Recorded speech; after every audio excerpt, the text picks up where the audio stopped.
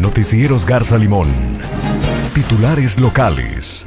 La empresa Delphi confirmó la instalación de una nueva planta en la ciudad de Durango y alcanzará la cifra de 8.000 empleos generados en la entidad, informó el gobernador Jorge Herrera Caldera. Informarles que a todos los duranguenses la expansión de operaciones aquí en Durango de la empresa Delphi. Delphi opera en Durango desde el 2010. Genera actualmente 4.600 fuentes de trabajo.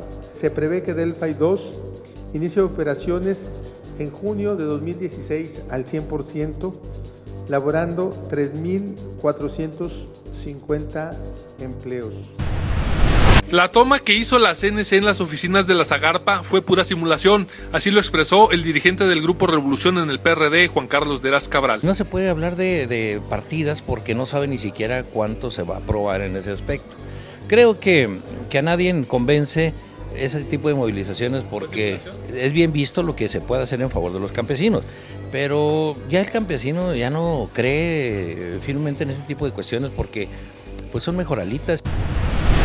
En lo que va del mes, la Secretaría de la Defensa Nacional ha destruido más de mil plantíos aquí en Durango, en toda la sierra, con este operativo de Sierra Madre. Así lo aseguró el general de la décima zona militar, Adolfo Domínguez Martínez. En Durango es la eh, producción ¿verdad? de los plantíos de la amapola y se ha detectado pues también laboratorios precisamente para procesar ese tipo de, droga.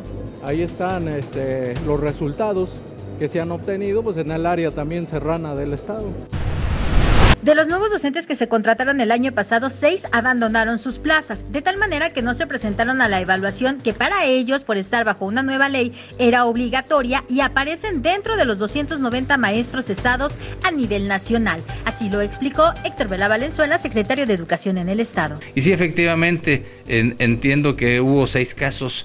Nosotros teníamos un informe en donde en donde no, no teníamos ningún caso de ese sentido. Pero incluso decirlo de esta forma, tan no lo teníamos que son gentes que eventualmente ya habían, eh, habiendo sido de nuevo ingreso, habían abandonado eh, las actividades antes de la evaluación, por eso es que no se presentaron, fue una inasistencia. Arranca Arrendavit, un nuevo esquema del Infonavit que consiste en arreglar viviendas abandonadas para posteriormente rentarlas a un bajo costo, esto con opción a compra. Así lo manifestó el director nacional de este esquema, José Alvear Mandonado. Que el programa consiste básicamente en toda en una parte de la vivienda recuperada que tiene el Infonavit.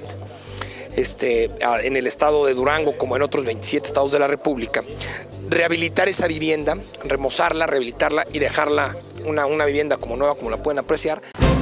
Noticieros Garza Limón. Titulares locales.